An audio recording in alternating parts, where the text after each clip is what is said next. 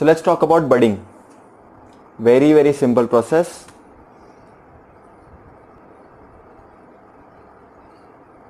We are talking specifically about unicellular organisms.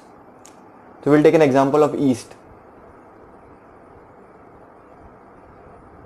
बहुत simple है ये सब चीज़ें बहुत एक्चुअली बेसिक चीज़ें हैं होता क्या है ना तो आपका ये पेरेंट ईस्ट सेल है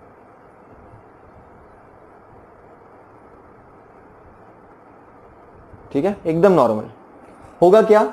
They will be a bulge formation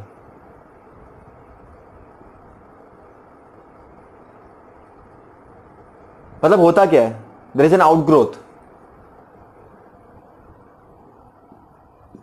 outgrowth है. नॉर्मल ग्रोथ हो रही है. होगा क्या? सिंपल तरीके समझने का. न्यूक्लियस है. ठीक है?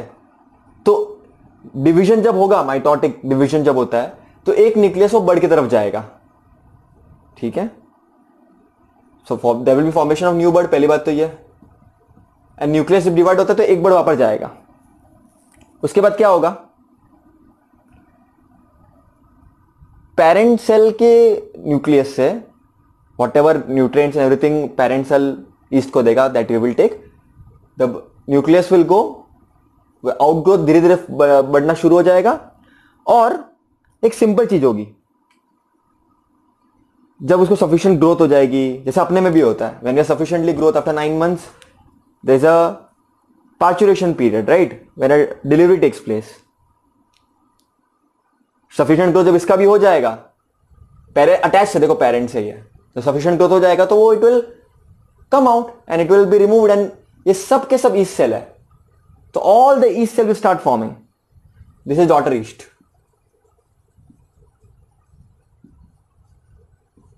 इतने सारे ईस्ट फॉर्म हो गए। देखो, पहले माँ बाप के साथ जुड़े हुए थे। माँ बाप जब बुढ़े हो गए,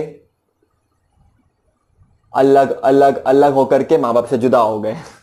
एक दुख भरी कहानी यहाँ पर अपन देख सकते हैं। लेकिन एक सिंपल आंसर लिख अभी लिखना कैसे है इसको? एकदम सिंपल तरीके से लिखना है। देखो basically E cells perform budding and what happens a small bud a small outgrowth is formed होता क्या है? माइटोटिक डिविजन से। ये जो याद रखना बच्चों माइटोटिक डिवीज़न होता है यहाँ पर। वेरी इंपॉर्टेंट माइटोसिस डिवीज़न होता है। और क्यों होता है mitotic division why do we require it so basically for the formation of two daughter nuclear उसमें से एक nuclear it goes in to that outgrowth it will get all the things that it requires and then it will live a individual life तो answer लिखने का तरीका एकदम simple होना चाहिए। This is the diagram you should know and what are the things which are happening that's it अब लोग बोलेंगे, भैया, ठीक है, समझ में तो आ गया आंसर लिख भी देंगे। लेकिन ये तो भैया फिर फ्यूजन की तरह ही हो गया ना। देखो बेटा, यहाँ पर पेरेंट से वो कनेक्टेड है। पेरेंट सेल ही है जो फॉर्म कर रहा। ठीक है?